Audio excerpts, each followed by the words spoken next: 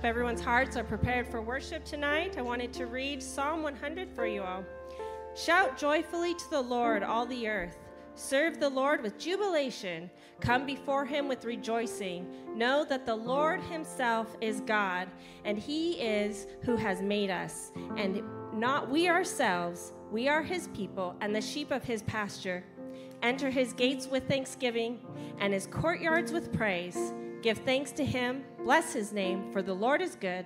His mercy is everlasting, and his faithfulness is to all generations. Heavenly Father, we come before you and we just lift up our hands to you and our hearts to you, and we ask that you would be with us today and that we would honor you with our lips and honor you with our words and our heart and our actions. We give it all to you, Lord God, and we just ask that you would be praised and glorified in Jesus' mighty name. Amen.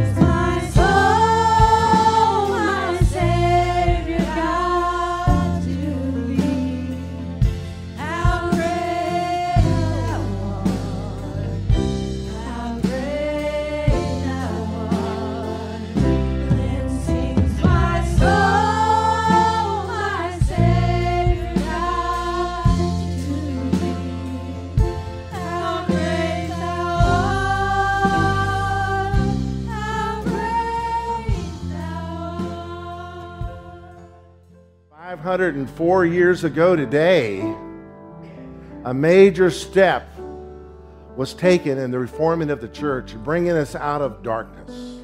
Thank you, Lord. Have you ever been in a completely dark room and somebody turns on all the lights? It can be blinding. So the Lord, in His grace, did a gradual thing.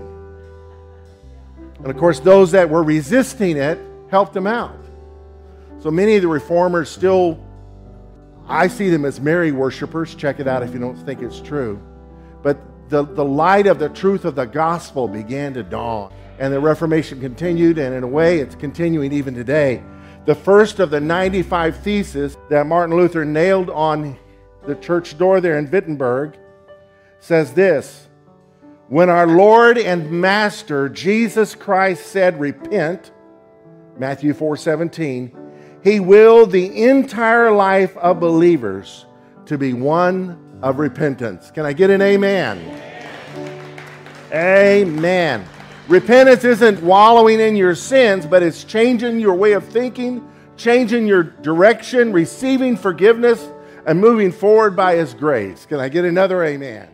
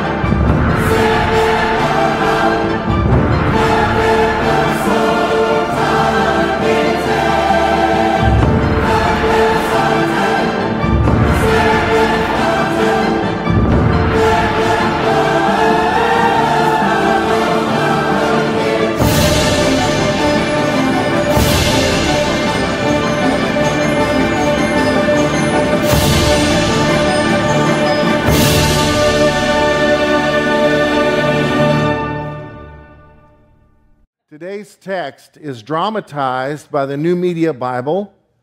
And in their historical research, they discovered that Egyptian men didn't like to wear shirts. So they wanted to be authentic. So brace yourselves. You may want to leave the room if that could be a problem. And Israel dwelt in the land of Egypt, in the country of Goshen. And they had possessions therein, and grew and multiplied exceedingly. And Jacob lived in the land of Egypt seventeen years. So the whole age of Jacob was an hundred forty and seven years.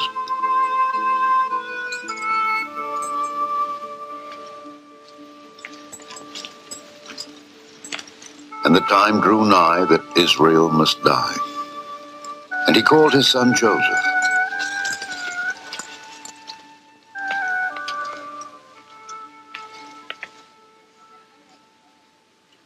Said unto him, If now I have found grace in thy sight, put I pray thee thy hand under my thigh, and deal kindly and truly with me. Bury me not, I pray thee, in Egypt, but I will lie with my fathers, and thou shalt carry me out of Egypt and bury me in their burying place. And he said, I will do as thou hast said. And he said, Swear unto me. And he sware unto him. And Israel bowed himself upon the bed's head.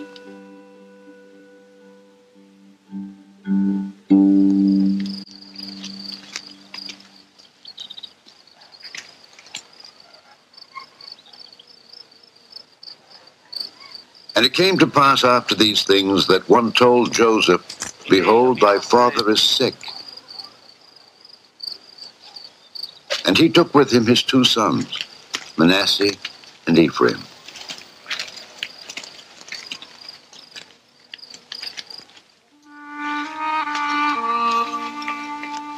And one told Jacob and said, Behold, thy son Joseph cometh unto thee. And Israel strengthened himself and sat upon the bed. And Jacob said unto Joseph, God Almighty appeared unto me at Luz in the land of Canaan, and blessed me, and said unto me, Behold, I will make thee fruitful, and multiply thee. And I will make of thee a multitude of people, and will give this land to thy seed after thee for an everlasting possession. And now thy two sons, Ephraim and Manasseh, which were born unto thee in the land of Egypt before I came unto thee into Egypt, are mine. As Reuben and Simeon they shall be mine. And thy issue which thou begettest after them shall be thine, and shall be called after the name of their brethren in their inheritance. And Israel beheld Joseph's sons and said, Who are these? And Joseph said unto his father, They are my sons whom God hath given me in this place. And he said, Bring them, I pray thee, unto me, and I will bless them.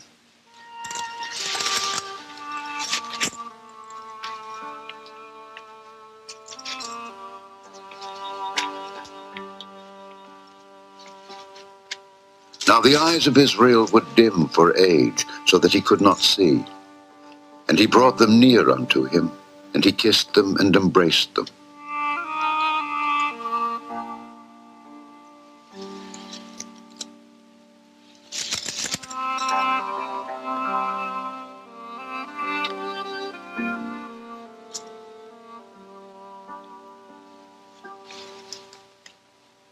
And Israel said unto Joseph, I had not thought to see thy face. And lo, God hath showed me also thy seed.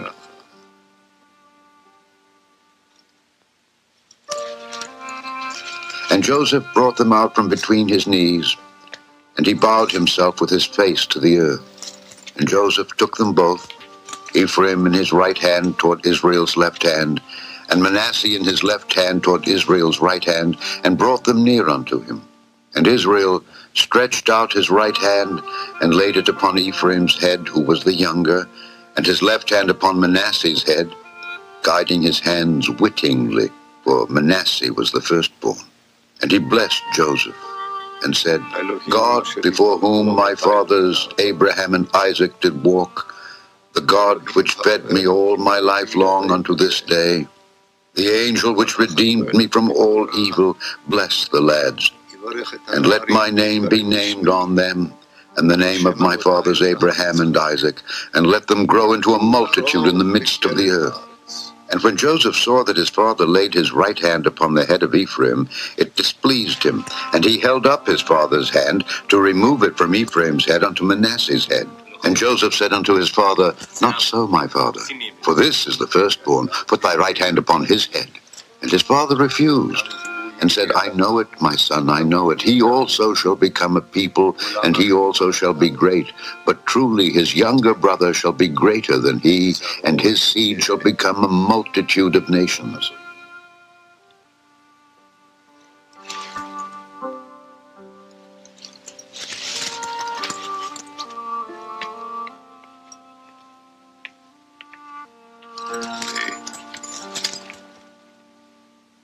And Israel said unto Joseph, Behold, I die, but God shall be with you and bring you again unto the land of your fathers.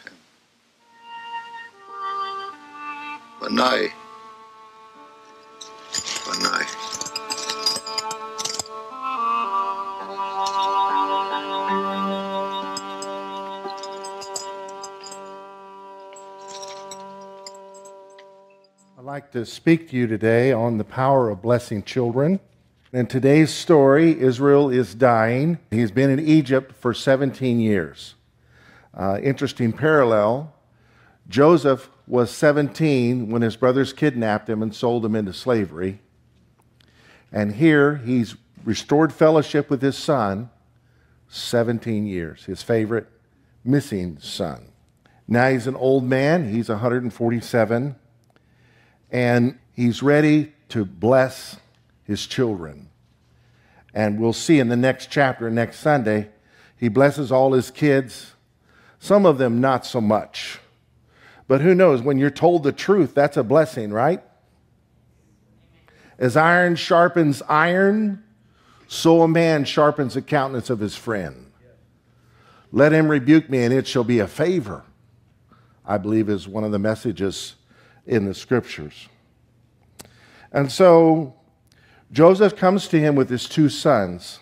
While freed from prison and made prime minister of Egypt, he was blessed with the daughter of a priest who blessed him with two sons. The first son he named Manasseh, which means forget, because God has made me to forget my sorrows. And the second son came along, he named him Ephraim, which means fruitful. God has made me fruitful in this land. And so now these young men are grown men now. They're not little boys. They have lives of their own. Maybe they have children of their own. And Jacob's going to bless them.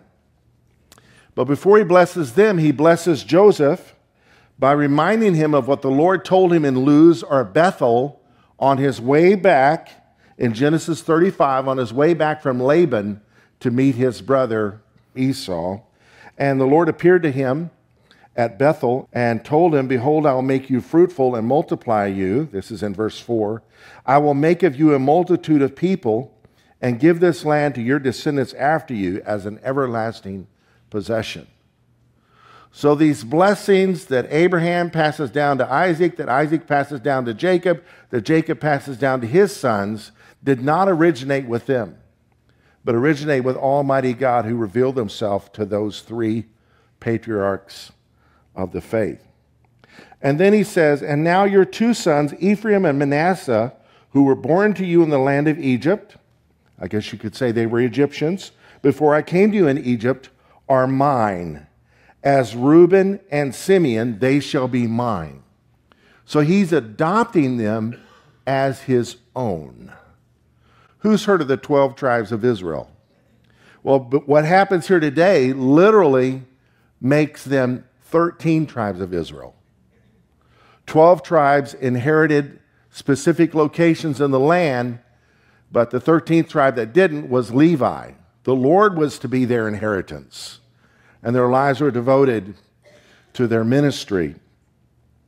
And so there is no, technically, no tribe of Joseph, but there's a tribe of Ephraim and Manasseh because of what the Lord did through Jacob here this day. and he told Joseph to bring your sons to me. Now, it's, it's kind of a formal setting. Joseph approaches him after hearing his father bless him, approaches him with his two boys, and he says, Who are these? He knew who they were. To me, it's like a wedding. The, the, the minister says, Who gives this woman to be wed? And if he's smart, the father doesn't say, I do. We know who gives a woman to be wed, but we say it in formality, right? To make it official. Uh, so here, this official, I, I, see it kind of as an adoption ceremony, is uh, done by Joseph identifying his two sons. In the Roman Catholic Church, before they baptize a child, the priest will ask, Who is this child? Now, he knows, but it's part of their ceremony. You with me? So he says, They are my two sons, whom God has given me in this place. And Jacob says, Please bring them to me, and I will bless them. So Joseph approaches him, and imagine uh, Jacob sitting down. And here comes the oldest boy on his right and the youngest boy on his left. And Jacob does a switch. He crosses his hands and pronounces a blessing like this. Now, Joseph tried to correct him. No, Dad, because, you know, Dad was blind. No, Dad, he, you're mistaken. He says, No, I know what I'm doing. He was led by the Lord. Uh, as a biblical principle, it's reiterated again and again in the scripture that God often prefers the younger over the elder. The first child born was Cain. Second child was Abel. It's not the only reason why he accepted Abel's sacrifice, but it illustrates the fact. Jacob was a younger of twins, Jacob and Esau. Jesus is the second Adam or the last Adam. The first Adam messed up. Jesus is the last Adam. And so here in Joseph's family, the younger is going to be placed above the older. He's going to be more prosperous, he's going to be more blessed. And when he questions his dad, He says, I know Manasseh shall also be a people, he shall be great, but truly his younger brother shall be greater than he, and his descendants shall become a multitude of nations. Now, before Moses died, he pronounced a blessing on the children of Israel. Don't turn there now, but it's a fascinating passage in Deuteronomy 33. And in that blessing, he pronounces blessing on the Joseph tribe and in that blessing, he says, Ephraim has his ten thousands, and Manasseh has his thousands. Israel's first king, Saul, was displaced by a second one, David, the man after God's own heart. You may have been born first or last in your family, but you were born maybe as Billy Bob, King of the South, or Susie Q, Queen of the North. But God rejects your first birth and calls you to be born again. Yeah. If you want to enter the kingdom of heaven, you must be born again. So, in this blessing, we see the seed of what would happen historically. When Solomon died, he was king of, of the land of Israel. His son took the throne, and the people approached him saying, Hey, could you go easy on us? Your dad was really tough on us, taxed us, and really hard. And he turned a cold shoulder to him. He says, Listen, my dad's waist is like my little finger. In other words, you just think times are hard. Wait till I get to moving here. And so the kingdom split. A servant took the northern kingdom.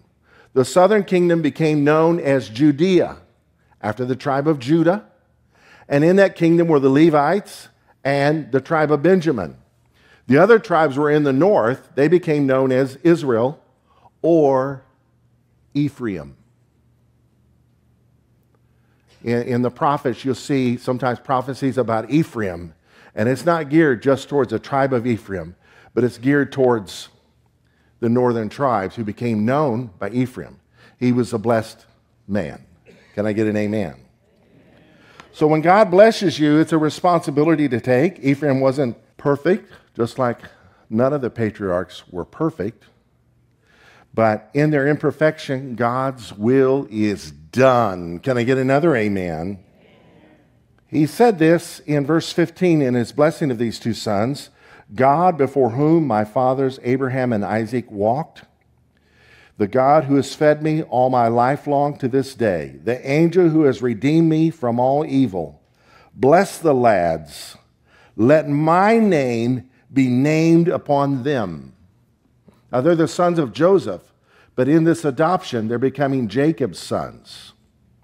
Like Reuben and Simeon, his two eldest sons, they're going to have equal footing with them.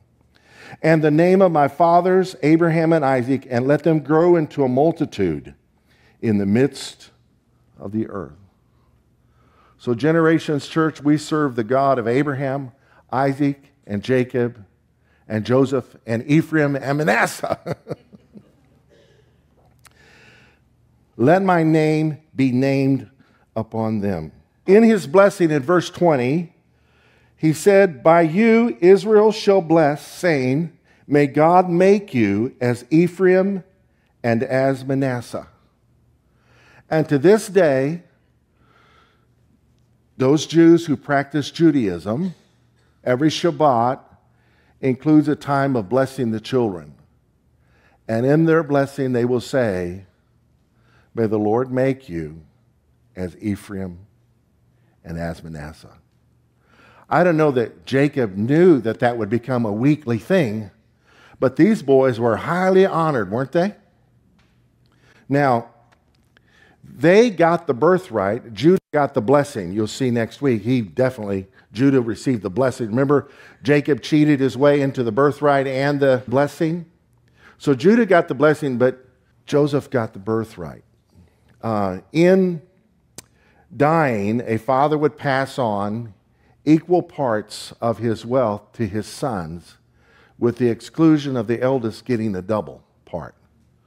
So if you had three sons, your wealth would be, would, would be divided into four parts, and each son would get a fourth, but the eldest would get two fourths or half.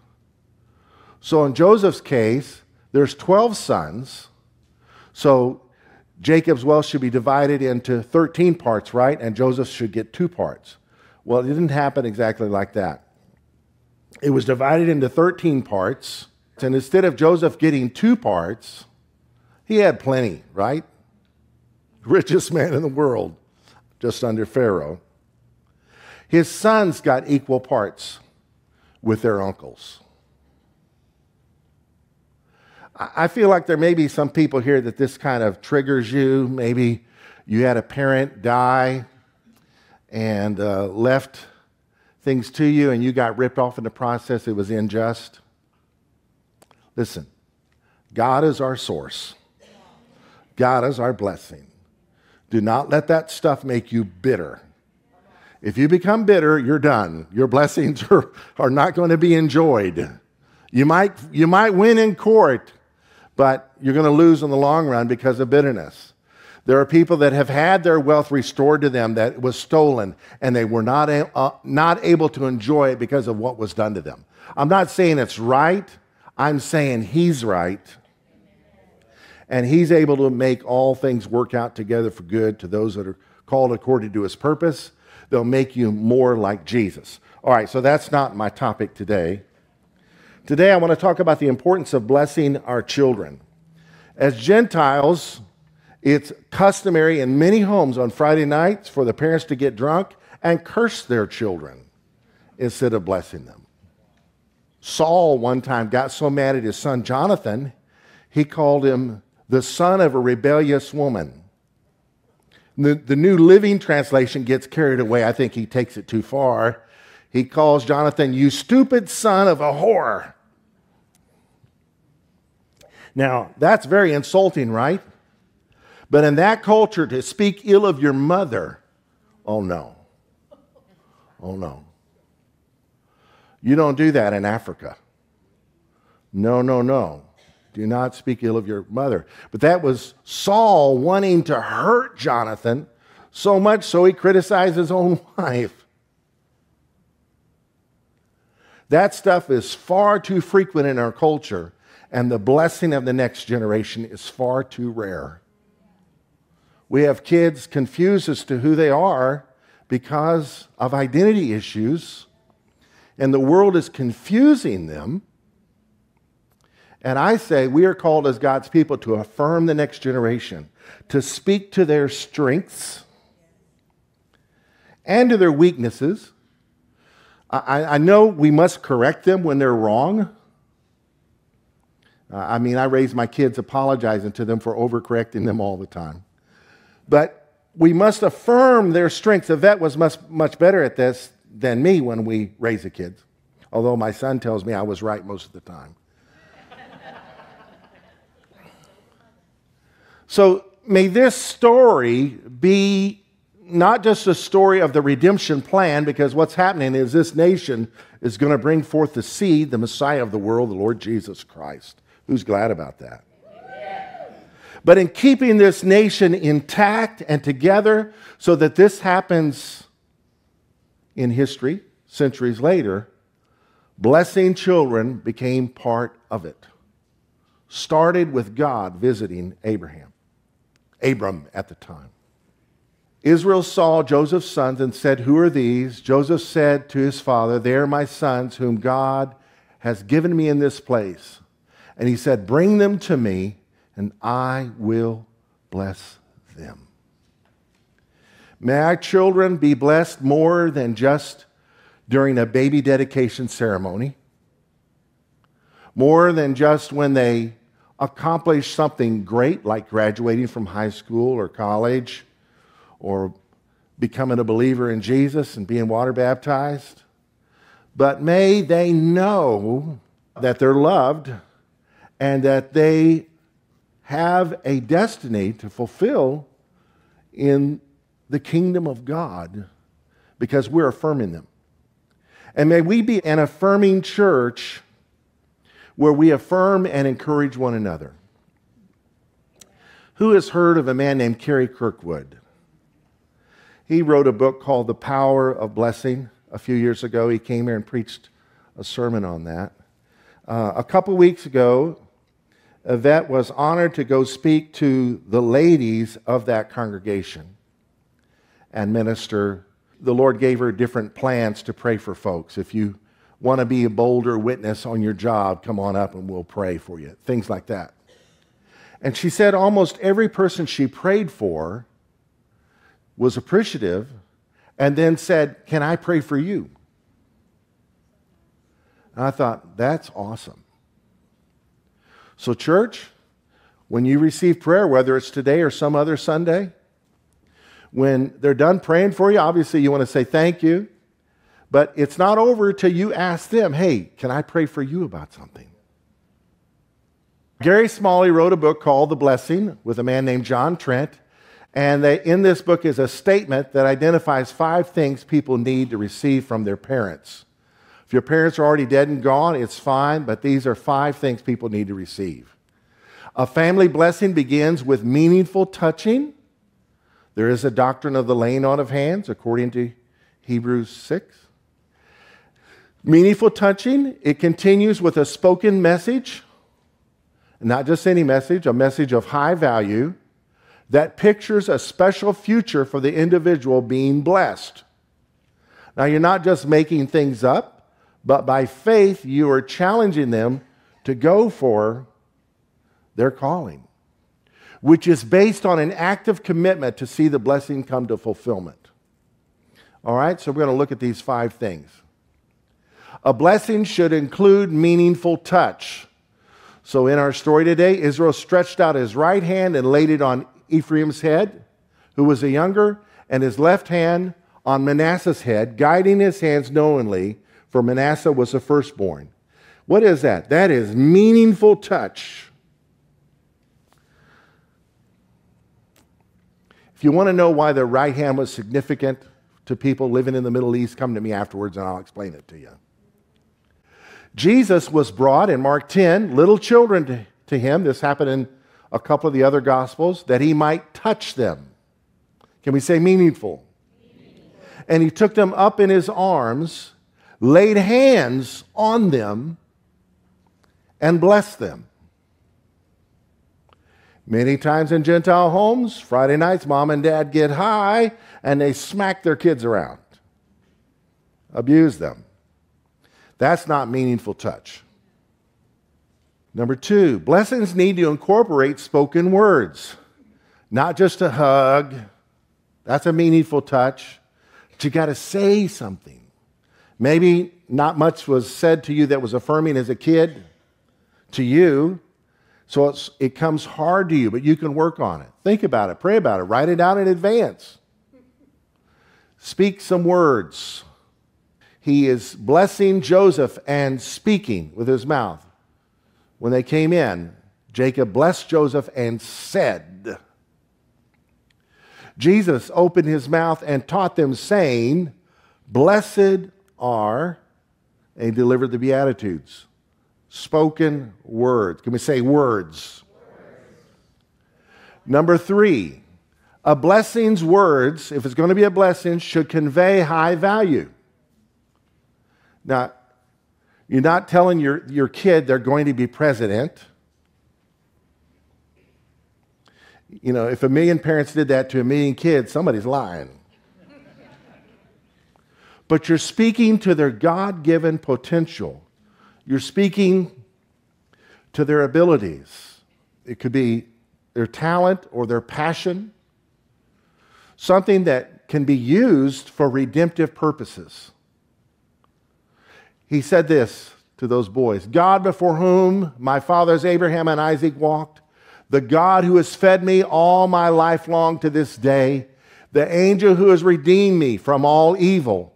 Bless the lads let my name be named upon them, and the name of my fathers, Abraham and Isaac, and let them grow into a multitude in the midst of the earth.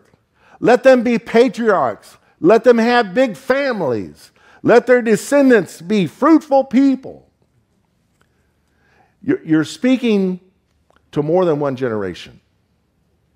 Maybe the Lord has given you a promise and it's being fulfilled in the lives of your children. It's the same promise because God is the God of the generations. So take comfort in the fact He's using your children mightily. In verse 19, he says, He also, speaking of Manasseh, this is part of Manasseh's blessing, he also shall be great, but truly his younger brother, Ephraim's blessing, shall be greater than he, and his descendants shall become a multitude of nations. So he's conveying high value to their generations, things they wouldn't see with their natural eye till Judgment Day, just how blessed they were. Tell someone there's more to you than meets the eye. I think in, in our land, we do not think generationally in our culture. We're hyper individuals. God relates to us as individuals, but He also relates to us corporately. He loves a person you can't stand just as much as He loves you. But He thinks beyond 2021. He's not trapped in time or space. So if you're blessed, you're blessed, whether you're seeing it today or not. It's not hard, just stretch your imagination a little bit. Don't make something up, but this is a biblical principle. Watch this. This is Jesus speaking blessing.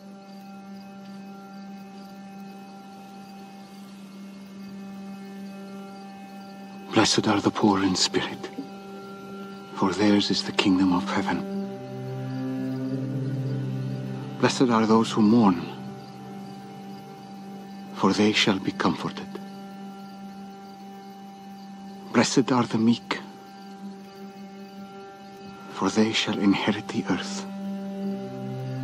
Blessed are those who hunger and thirst for righteousness, for they shall be satisfied. Blessed are the merciful, for they shall receive mercy. Blessed are the pure in heart, for they shall see God. Blessed are the peacemakers, for they shall be called sons of God. Blessed are those who are persecuted for righteousness' sake, for theirs is the kingdom of heaven. So he's speaking blessings Different to kinds kinds of people in different states of life with different needs and different strengths. He does this before he drops the hammer and begins to give around 70 plus commands. Starts with a position of blessing and then got to love your enemies, do good to those that hurt you. Such blessings help picture a special future. If it's a peacemaker, I'm a child of God, then no matter what life throws at me, the story ain't over. I have a future and I have a hope. We used to sing, I have hope when trouble comes my way. I have hope, yes, I do, since Jesus has come to stay.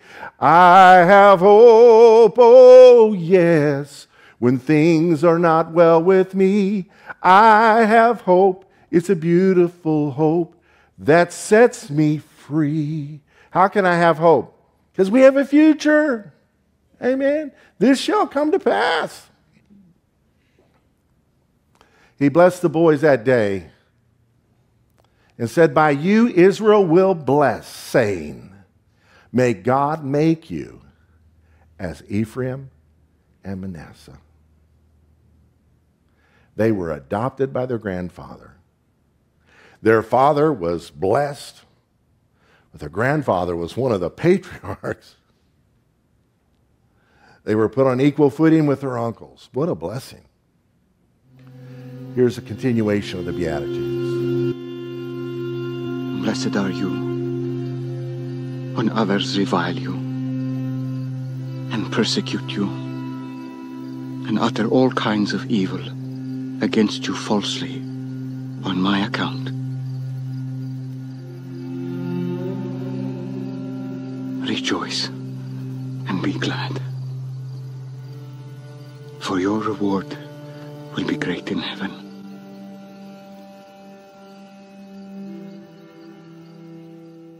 I think many times we live too much in the now. We're so earthly minded, we get shut down spiritually and emotionally because we're just living now, just focusing on the injustice, the disappointment. The economy crashed and all your stocks went to pot. Who knows what all happened? I'm not belittling pain, but I'm helping us to be reminded there's more to us than meets the eye. There's more to my life than is in the lifespan of my physical body. He who believes in me shall never die. We don't die, we just change residences. Bye bye, body. Hello, Jesus. Whether you believe we're sleeping in Jesus or you're awake with Jesus, it's bye bye, body. Hello, Jesus. Amen. Blessings are based on active commitment. If you're going to bless a child, you've got to be committed to help them move forward. It's not just words. And look at what Jacob did. Israel, his name's used interchangeably. Israel said to Joseph, Behold, I am dying, but God will be with you and bring you back to the land of your fathers. Moreover, I have given to you one portion above your brothers, which I took from the hand of the Amorites. Now, it's debated as to what this means. We do know at Shechem, he bought some land, and we do know that's where Joseph was buried. So he may have been speaking to that. But he said, I took from the hand of the Amorites with my sword and my arrow. So maybe it got stolen and he had to regain it with some military action. We're not sure. The point is, this was a special blessing given to Joseph. Why? He wanted his bones to go back with him. He's a patriarch's son to the promised land. And it happened when Joseph was dying, he gave instructions to carry his bones back. And so in Exodus, when they made that long trek to the promised land, they're hauling Joseph's carcass with them. Embalmed, probably like an Egyptian, but no doubt coffined. Jesus is committed to seeing us fulfill his blessings upon us. Who believes that? After living the life he lived and dying the death he died and rising from the dead, he proved himself alive for 40 days. Then he ascended into heaven. And prior to his ascension, he said, I'm going to send you what my Father has promised, but stay in the city until you have been clothed with power from on high. He's sending the Holy Spirit to help us. The Holy Spirit's the paraclete, the para, the one alongside, to help. Parakletos, the one who's beside us. A para is something beside something. A parachute is something beside you to help. A parasite's beside you, but not so much to help. So the Holy Spirit is our comforter to help us. Here's another dramatic presentation from the Lumo Project of this statement in its context. I am going to send you what my father has promised.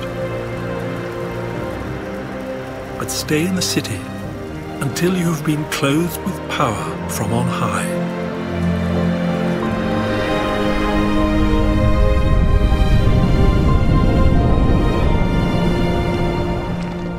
When he had led them out to the vicinity of Bethany, he lifted up his hands and blessed them.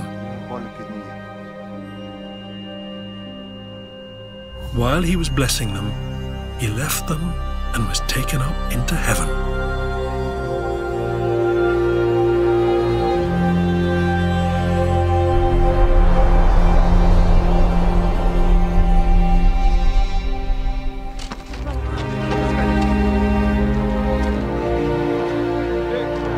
Then they worshipped him and returned to Jerusalem with great joy.